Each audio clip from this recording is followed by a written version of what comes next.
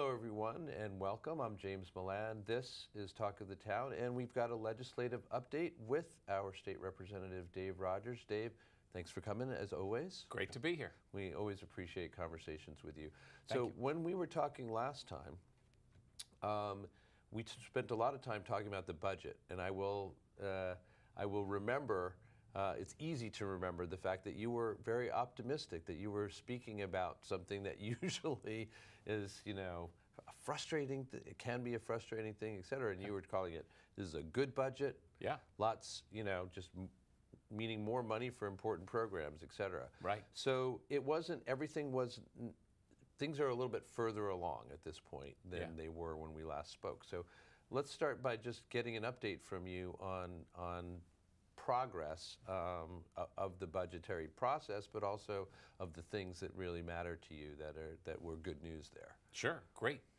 Well, um, I guess the key thing, uh, one of the biggest things in the budget that was passed um, was the biggest year over year increase in education aid from the state um, in terms of a percentage increase, I think in two decades. So big money for education, which benefited the communities I represent, but also the state as a whole. That's great news. Um, I mean, education's the, the key to the future. Uh, every student deserves a shot at the American dream, an equal opportunity. So, um, and it's an investment in our future. Uh, and I think it's something that has driven my public service and um, something I've always advocated for. So certainly pleased to see that. And um, and then we just passed the Student Opportunity Act, which will, so the budget this year was a down payment on that, so a big increase. But then we just passed the Student Opportunity Act, which is uh, once in a generation, transformational investment in education. Because there was the Foundation Budget Review Commission. They did an- a deep dive. I had co sponsored legislation to help create the Foundation Budget Review Commission. They did a deep dive on the data, on all the uh, funding streams for different, based on different factors, and determined that there were four factors that were causing uh, the state to lag on fully funding uh, education. I mean, most education funding is at, at the local level. Right. So in the towns I represent, Cambridge, Arlington, Belmont, comes from city government, town government. But state aid is important. And uh, what the study I found is that four factors uh, educating those with English as a second language, uh, those with special education needs, uh, the cost of healthcare, providing healthcare, and then finally disparities in different zip codes around the state, from lower income areas to higher income areas. Those four main factors had caused the state to lag um, with funding or not fully fund um, education, and we um, passed a bill that will spend billions more over the coming years I on th- I, the figure I'd heard is like 1.5 billion or something like that over seven the next seven years. yeah, but then, then that once that's in the budget, mm-hmm. that becomes ah. the new baseline. Uh-huh. And that's the thing about budgeting.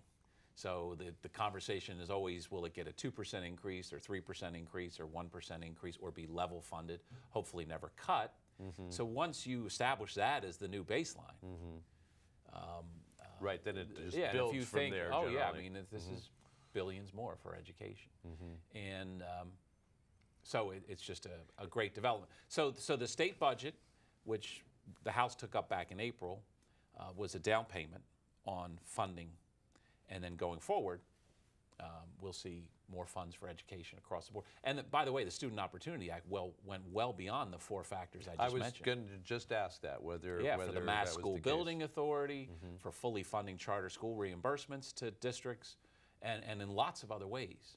So, um, So basically, the Student Opportunity Act is tackling all four of those areas, but also, in addition to that, a number of others. going beyond. I mean, a lot of times when a piece of legislation or a new law is crafted, developed, and passed on Beacon Hill, there are supporters. There's always a critic who said, well, you could have done this a little differently or that a little differently. The, Just one, huh? Well, or, or more than one. right, right. But it was a universal chorus of acclaim when the Student Opportunity Act, I mean, passed all across the board from whether it's the teachers unions, whether it's outside advocacy groups, whether uh, all across the board, education advocates said, wow, home run. And so, anytime you can be part of a process that delivers a home run on something as important as education, um, it, it, it's a tremendous moment. Yeah, you And- feel and- yeah. well, and it's why good. I got into this line of work, is to try to make a positive difference in the world, in the community, my, our small corner of the world, and in the Commonwealth as a whole. And on a broader scale, I mean, we've seen Massachusetts be a leader on healthcare. Obamacare was um, based on a law passed here. And in lots of other areas where Massachusetts becomes a leader where the other 49 states or federal policymakers can look at what we're doing. So, and I, I always say lately that I'm mindful of the moment where we have um, impeachment proceedings going on at the federal level, where we have um, gridlock and dysfunction. Um, I saw Susan Rice, who was Obama's national security advisor, interviewed recently. Know, other, you know, along with Secretary of State, Secretary of Defense, national security advisor is, you know, serving at the most, the highest echelon government. And Susan Rice said something pretty profound and, and interesting. And I, I follow policy and politics. I live it daily. Yep. And but she said our divisions at the national level, our inability to broker deals, even on things that should be, on balance, relatively less controversial, and traditionally have been right. infrastructure. Mm-hmm. Okay, so it's not a Republican bridge, it's not a Democratic bridge, it's not a Libertarian bridge. It's a bridge, and it needs to be fixed. But our federal government can't even reach um, agreement on basic things that are the government function. And to get to, get to my point, what Susan Rice said, the national security advisor said, is our inability to govern ourselves at the federal level has become our number one national security threat. Because if we're weak at home, it makes it more difficult to project uh, American values and leadership around the world. If, if you're, if you're um, withering away from within, Right. how can you project influence and project American values around the world of democracy, liberty, and freedom? So I, I realize I'm getting a little bit far afield, No, but, but, I mean, my point is that how do- when, how- how yeah, does that impact well, when doing we here? here are doing meaningful, important things where there are difficult, nettlesome public policy challenges, but Mm-hmm. we're able to, through a legislative process, listen to all stakeholders, all points of view, and craft a meaningful, once in a generation, transformational investment in education. What I say is it is critically important that we do so now more than ever because of the dysfunction at the federal level. The states must go into the vacuum, the void, and lead. And, and then hopefully, um, these ideas that are, are uh, kind that we're fostering lab- here. Right, right, percolating in the labs. the laboratories states. of democracy, Right. As Brandeis called the states, um, become a beacon uh, for a future time when we will see the ship turn at the federal level. Mm-hmm. So again, that's my phrase I've been finding myself using a lot lately. Mm-hmm. I am mindful of this moment, and it, it energizes me. Uh, it, it gives me um, uh, great purpose to the work I do, and um, so and that's why I, it's been a remarkable time to serve in our state legislature because we're doing a lot. I always wish we would do more. Right. I always want to be forward leaning. I never rest on your laurels, but if you look at the last four or five years, whether it's sweeping criminal justice reform, women's pay equity, a bill I introduced, the Pregnant Workers Fairness Act, which is the creation of a major new civil right for women uh, in the workplace. Uh, the New York Times had done a big study that one of the biggest barriers women face is pregnancy discrimination. So it's nothing less than the creation of a major new right. Um, so, and that's the tip of the iceberg. The four or five bills I just mentioned, there's, there's 30 others I can mention. So, again, I wish always to do more, always be forward leaning. But Um, you and but- I have discussed in the past that, you know, as, as you've often pointed out, that public policy making is complicated It is. and difficult, maybe much harder than people, you know, ha- out, out here uh, in the public have a recognition of. And so when you can, like you said, string together a number of major pieces of legislation that are going to be, you know, having effects and beneficial effects, we assume, uh, for the population for years to come. I, I assume you do need to pause and enjoy that moment um, Yeah. because there's a lot of work that you're doing that doesn't find fruition in that way. I think, right? Right, and and I think I think that's a, a good way to uh, to f- to frame it. And um, another one is 3,200 megawatts of offshore wind. Uh, 800 megawatts is the Vineyard Wind Project. It's being temporarily held up by the Bureau of Ocean Management at the federal level. Uh, we're hopeful to see that clear. I think they're looking at uh, the fisheries, the effect of these big offshore wind projects on a variety of uh, fronts, how they'll impact fisheries and, and uh, um, maybe migratory bird patterns and other other factors. But 800 megawatts is I because I sort of said to folks that I work with, if I'm talking to people in the community, I can't just say 800 megawatts Right. unless they're an electrical Right, engineer exactly. or they, it's their business or something they know a good deal about. Right. So I did some digging, some research, and uh, 800 megawatts is enough to power 400,000 homes. 3,200 megawatts, which is what's been authorized by the legislature, is up to uh, 1.6 million homes. It's a huge. It would. So do you mean 400,000 homes for a year, or for for for how like for how long? well, assuming the wind keeps blowing, Right. In Just- perpetuity. Just, into perpetuity. Awesome. So indefinitely. it's enough to power 400,000 homes. That's That's where they get their power from. Mm-hmm. I mean, uh, but that's the first of 800 megawatts of 3,200 megawatts. Now another 800 megawatts just went out for bid. So, um, gas leaks, major build a repair gas leaks, incre- in- increasing the RPS, the renewable portfolio standard, which is the big investor-owned utilities, the amount of energy they must procure from clean energy sources. So, again, I, I've said this before in our conversation. I'll say it again it's not a reason to rest on your laurels. It's it's not a reason to say, well, we've got that right. done. Oh, no. You know, I put your I feet mean, up. No, we- I, I, if you look at the suite or the portfolio of legislation I've introduced, you'll quickly discern that I'm not. Right. s- Your- I'm your- not your pausing. ambitions, right. No, no, because I mean, uh, if you're going to do this work, the, um, the only reason, in my opinion, to do this work uh, is if you are driven, uh, truly driven, to make a significant difference for the people that you represent and those throughout the Commonwealth. So that's my mission. Um, I take it seriously. Um, you know, I try to bring joy to public service, as serious as what we do is. I try to do it, uh, for lack of a better way of saying it, with joy in my heart, with energy. But, um, and I try to, um,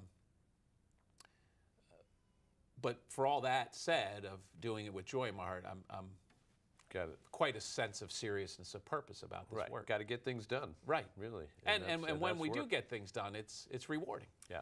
So congratulations on that, but we're going to move right Sure. on to uh, to more stuff that's still on on the table, and we're wondering uh, where the you know where the winds are blowing here. Um, so uh, I don't want to get the the official name of the committee that you are chair of wrong. So would you just tell me I'm the chair of the Cannabis Policy Committee. Cannabis Policy Committee? It's the first time I've been I would- chair of a committee. right. Um, and, you know, it takes time to kind of work your way up to that. Um, Well, I'm glad I asked because I would have forgotten the policy yeah, part. I think it was called going right marijuana, and the, there was a sense that uh, some believe the sort of etymology or the origin of the word marijuana is a, has a pejorative connotation. Um, so the thought was to change it cannabis, to cannabis. nice and scientific. so it yeah, was sure, marijuana policy last term. It's now cannabis policy. Fair enough. One way or the other, that puts you right in the heart of the of of one of the you know topics of great interest currently uh, out here in the public, and that is vaping and the dangers thereof, the actions of the government in response to what we know or don't know uh, about that. So specifically, um, there is a ban on certain vaping products that I believe has now been passed by the legislature. Yeah, wh- what happened, Well um, as increased taxation in right. that area. So what happened is, as you know, there's been a spate, uh, sadly, Mm-hmm. of deaths around the United States, including um, some here. I believe three, two or three. Um, obviously, that's incredibly serious, and it's a public health threat that um, the governor responded to with a ban. Now, there is no more dramatic step a governor can make than a ban. And so people looked at that and wondered is that trying to solve the problem with a sledgehammer when you could be solving it with a scalpel? In other words, was a ban truly called for? It put a lot of these vaping stores, including one in Davis Square. I happened to walk by. They're shuttered, they're closed. Now, if that's required, it's required. Public health and safety is paramount. Um, but many said that what are really causing the harm are the illegal vapes. There is an underground market for vapes that uh, people buy. People buy them online. Now, with so much e commerce or internet commerce, a lot of these vapes are being bought online. Some are just made by local, unlicensed manufacturers. And so people said, well, while the governor, governor may be well intentioned, did he go too far with a total ban? And so litigation commenced. And even the governor, when he put the ban in place, said people can avail themselves of the courts. And so people did. Uh, the litigation has proceeded, and what happened is uh, a court ruled that uh, with regards to most products, the ban can stay in place, but that with regard to cannabis, that really only the CCC, the regulatory authority, could could um, completely ban it because you have medical cannabis users. That's one of the ones, one it- of the things I wanted to ask It's you their about. medicine. And it's how many medical cannabis users get their medicine. So, what happened then is, um, as to the judge's ruling, it, expi- uh, it said that the, the ban on medical vaping of flower, um, as opposed to liquid, TH, uh, liquid uh, cannabis, um, would, would expire on November 12th, earlier this week. And the CCC then came out with their own, but it's deferring to the CCC. So the, the Right, Superior. Court, the judge, ruled the CCC could intervene. The CCC then put out a statement um, saying that it would, the ban would continue, except for medical flower patients. So cannabis patients, medical patients, not adult use, can use it now. And then the CCC also announced this week they're going to take up the issue of regulation and um, of how to regulate these vapes. Uh, meanwhile, the CDC, the Center for Disease Control at the federal level, believes they have identified the culprit. It's called vitamin E acetate.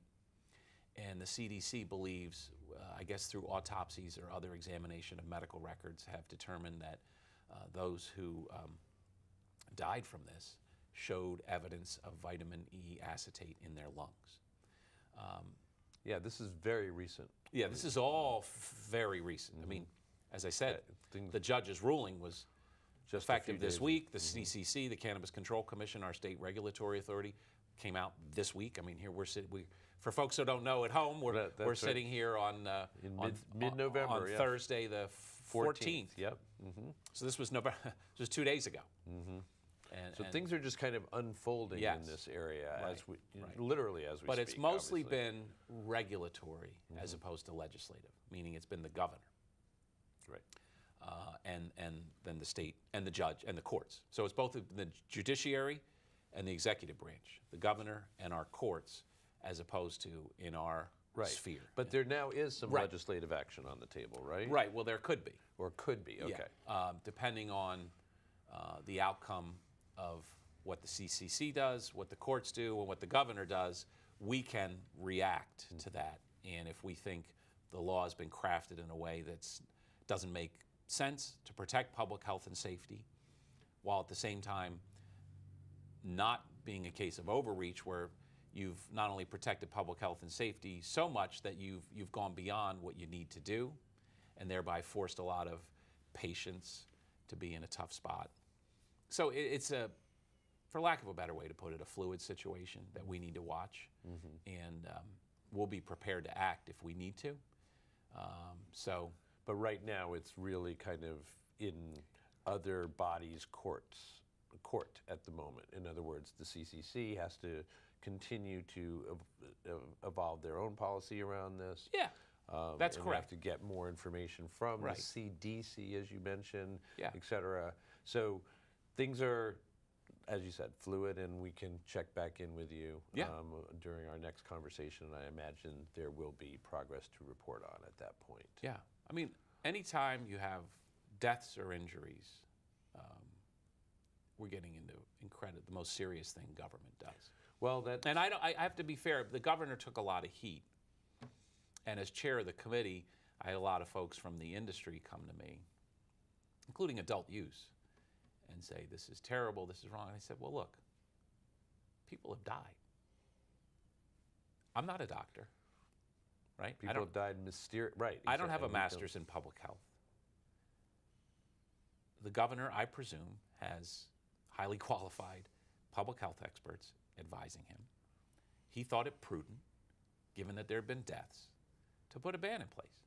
Now, the courts have said the ban went too far for medical vaping of cannabis if you're an actual patient. And that's fine. In other words, I guess I wasn't as prone to become hyperbolic about this. And this is so terrible what the governor's done. He's trying to protect lives. Right. And, and, um, and the, the people have availed themselves of our court system. The courts have weighed in now. And um, so, Yeah, and again, you as you mentioned, um, there's a, you know, it, there's just a difference, a fundamental difference once people start dying of something that again is not explained or understood at that time, and uh, and that seems like one of the fundamental responsibilities of government to respond to such situations absolutely. whether it bans the right way or the wrong way, and whether there's something else that could be more scalpel-like than sledgehammer-like, et cetera, all that is to be debated and worked out. But nonetheless, government response is something we would all want in that situation. Absolutely. Which leads me to uh, ask you, I, I, I, a lot of times we're talking about specific programs, legislation, bills pending, um, things coming up, et cetera, and we ask you about those. I want to step back for a second with Sure. the remainder of our conversation and just ask your opinion, your thoughts as, a, as somebody who operates in this environment about a central question that's raised by the vaping situation here, and that is um, the, the, the dynamic between uh, what we all would see as personal responsibility. We're all responsible for our own conduct. There's lots of people, as we know, lots of Americans out there who think, government, stay out of my business. You know, I, I will, I am an adult and I will be responsible for my behavior, et cetera. So you have a question, you know, when, when it comes to vaping, et cetera. For many, many people, this is a voluntary thing. This is not medication, et cetera. This is something that they're choosing to do. Right. Um, then it turns out to be dangerous. The government feels the a- again a responsibility to intervene. So what I would ask is, as between personal responsibility um, of individual citizens and government's um, uh, obligation toward, for to uh, safeguard public safety uh, or to Right. you know to promote public safety. How do you see, you know, government's role in that situation and your role as a legislator um, in dealing with these kinds of difficult problems, which again could be interpreted as, hey, that person's making that decision. They're going to have to live with it or not. Yeah. Sure. well, Um, folks decide they want to, as a uh, maybe uh, for uh, recreation or adventure, they go skydiving. But I'd like to believe we would all think there should be at least some sensible regulation of skydiving companies. Uh, folks choose to get on a plane to travel all the time for business or pleasure. But I think all of us want to have a strong Federal Aviation Administration with engineers and aeronautical engineers and air traffic controllers and the like to make sure the planes we get on are safe. In other words, uh, we do live in a society that's free. Uh, I definitely believe deeply in liberty and that people should have sort of maximum freedom to pursue their dreams and live their lives. On the other hand, we have to have a sensible regulatory framework in different spheres of our lives and in, in regulating businesses, regulating all sorts of things, um, to protect public health and safety. And, and it's a great question because there's always an inherent tension in those two competing things liberty, freedom, and yet protecting public health and safety. Um, And where do you where do you personally fall there um, as a as a legislator? Do you think do you take do you think each uh, each uh, time this kind of thing would arise, you just would have to look at the specific circumstances and make your determination that way? Yes. Or okay. Didn't mean to cut off the rest of the Yeah, yeah, question. no, that's But fine. I, I mean, I think you framed it so well that I would just quickly interject. Yes, I mean, Mm-hmm. it, it- e- each situation is fact dependent, fact specific. Often, scientists, engineers, and experts have to weigh in, and um, it's like I think we talked about before we came on air um, uh, that uh, sometimes folks want a simple, pithy bumper sticker slogan. Uh, but in fact, most public policy questions are complicated. And you do need to have experts. You need to hear from all the various stakeholders. Uh, the law is about drawing lines, and the question is where do you draw the line? Uh, it's not perfect. Uh, lawmaking is, is imperfect, but you try to get as close to the appropriate place to draw lines in the law as you can. And so, does that mean when you say that you would treat things on a case by case basis in terms of your determining what you think is right to do? Does that mean that there you could imagine that there would be situations in which you would say, um, you know, no, that really is a kind of more question of personal responsibility, and people need to take responsibility for their behavior, and there's not a role for government and, and government's regulatory authority there. Well, I mean, personal responsibility is important. Um, as you say, we all have a responsibility to govern our own conduct. Um, and yet, we know human behavior is such that in certain spheres you need to have uh, rules, guidelines, regulations. Um, and uh, so that's sort of the balance that's always being struck in the lawmaking process and the regulatory process. I'm, I'm really not trying to push you into a corner, I promise. But I'm just curious whether, in some way, you're saying that that you part of what motivates you as a, as a legislator, as part of the governmental apparatus, is in some ways to protect people from themselves or from their worst instincts or decisions or things like that. Is, is that part of what government does as far as you're concerned? Perhaps, yeah. I mean, I'm, I'm sort of thinking out loud, Sure. as I tend to do from time to time. I mean, almost if you looked at a, a bell curve of human behavior, and there's sort of the median or, or the, the middle, uh, where most people's conduct, but then there are either side. Um, and um, think of investing. Are you a high risk investor that wants to put your money in speculative small capitalization stocks, or do you want to put all your money in a money market uh, account that will never go down in value but won't go up as much either? And the government does have a role in financial regulation to make sure the stock market and the financial products that you or I might look at.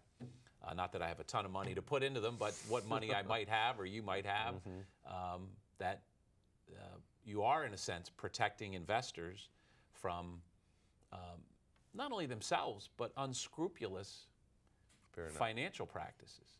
Um, so keep in with the world of, of vaping. Are there unscrupulous manufacturers or online, or even if they're not unscrupulous, which would imply bad intent, just negligent? They don't have the necessary capacity to create the vape pen or whatever these devices are in a way that's safe for the public. So um, maybe it's not only just protecting folks from themselves, as you phrased it, but more uh, protecting uh, the public from shoddy manufacturing pro- practices um, and the like, unsafe conditions. Well, I appreciate your being willing to think out, think aloud, um, and on the air about something that I'm sure you don't often, you know, have to have to probe. No, and I appreciate sort of the thought-provoking questions. uh, it's it makes my job more interesting, and I, I enjoy these kind of conversations. Um, uh, but they're you know they're there often not one, is not one easy answer. Fair enough. And we will never hold you, I promise, to easy answers. Um, we will only hold you to coming back and continuing these conversations. Well, thanks. It's great to be here. I always appreciate it, and uh, I love being of service to the community. Yeah, it's always energizing to talk to you in addition to illuminating. So um, uh, we, we genuinely appreciate it. Thank you. So, on behalf of our state representative, Dave Rogers, this is Talk of the Town. I'm James Milan, and we appreciate your being here.